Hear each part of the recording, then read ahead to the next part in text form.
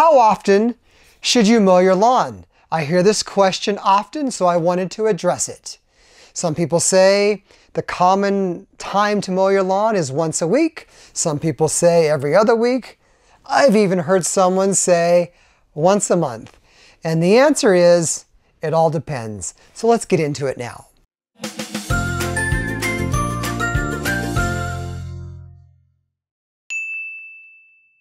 So one of the determining factors on how often you should mow your lawn is at what height you currently mow your lawn at. Now, you can take out a tape measure and actually measure the turf and see how long the grass is, or you can generalize. Generally, most people will cut bluegrass, which is mostly what we have here in Denver, Colorado, anywhere between two and a half to 3 inches, which is the best height for the maintenance of bluegrass. Now if you're somewhere else or even down south, some of you guys have warm season grasses. Some people like to uh, grow ryegrass, and some of those grasses you can cut pretty short. But I'm going to talk specifically about bluegrass. So one thing to keep in mind is that the shorter you cut your lawn, the more often it needs to be cut because there is a golden rule when it comes to mowing your lawn. You should only cut off one third of the blade of grass. So let me repeat that. One third of the blade should only be cut at a given time. So let's say, for example, you're mowing at three inches. Well, you can do that in your head. You just take three divided by three, which is one. So you should never cut more than one inch of extended grass off the blade at one time. Let's say you mow your lawn at two and a half inches. Well, for those of you that are older, you can do this in your head. For some of you younger folks, you just take out the calculator here and 2.5 divided by 3 is not 7.5, 2.5 divided by 3, I multiplied it, is 0.83. So let's just round down a little bit, and that's roughly 3 quarters of an inch, roughly. So you don't want to take more than 3 quarters of an inch off your blade of grass each time you cut the lawn.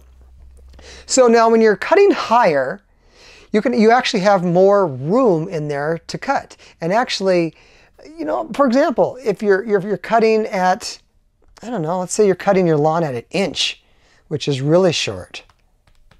That means you could only take a little more of a quarter inch off at a time. I'm rounding again.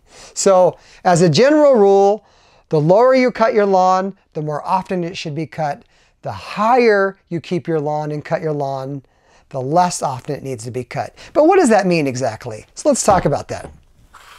So if you're, we're talking about bluegrass, and you're mowing your lawn at two and a half or three inches or two and three quarter inches, which is generally what we recommend there for a nice look, is uh, you're going to need to cut your lawn probably once a week. Now, there's another factor to consider here. The time of the year, because when in the spring, the lawns are growing at such a fast rate and it needs to be cut more often.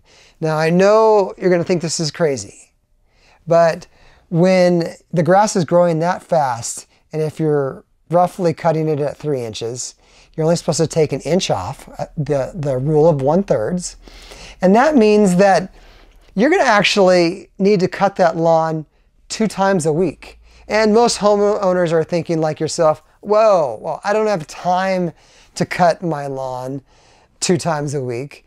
And I don't have the, I don't want to spend the money to have my lawn care company come every, you know, twice a week. It's just not going to happen, John. I get it.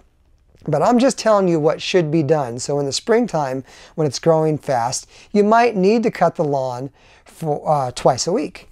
What happens now if you cut more than a third of the blade of the grass off? Well, the lawn becomes just simply stressed. It gets stressed out, and what that means is it shrinks up the root system. The roots shrink up, and you don't want that to happen because when that happens, the lawn is more vulnerable to drought stress, to disease stress. It doesn't grow and thicken up as quickly, and so you don't want to stress out the lawn. So you want to try to only take a third of the blade of the grass off. Now, when we mowed lawns and had a, a huge mowing division, I probably mowed 50,000 lawns throughout my lifetime. I started when I was young and mowed for years in the field. And then we, we, we, end, we ended up selling our mowing division. We don't do that anymore. We just do lawn care. But what I learned about mowing lawn from our customers that we used to mow is that they would call in and they would want their lawn cut bi-weekly, which is generally twice a month. And really the only reason that they wanted that done is to save money. And I get it. I'd like to save money too. But that is not the best thing to do for your lawn. So some other factors to consider when how often you should mow your lawn is that what time of year is it? How fast the grass is growing. I mean, if the grass is growing slow and you're, you're still only taking a third of the blade of the grass off, Maybe you can mow every two weeks. That might be feasible. But if you're fertilizing the lawn, which you want to do, and watering it properly, which you want to do to thicken it up, to get it green, to make it look awesome, you're, you're, you're going to need to cut probably more than every other week there. So just let me, let me conclude here that number one, it depends on what time of year, it depends on what height you keep your lawn. And just remember the rule of thirds. Don't be taking more than a third of the grass blade off at any one time. It's that simple, and I promise you, you're gonna have a much healthier lawn and a better looking lawn if you follow this little trick there.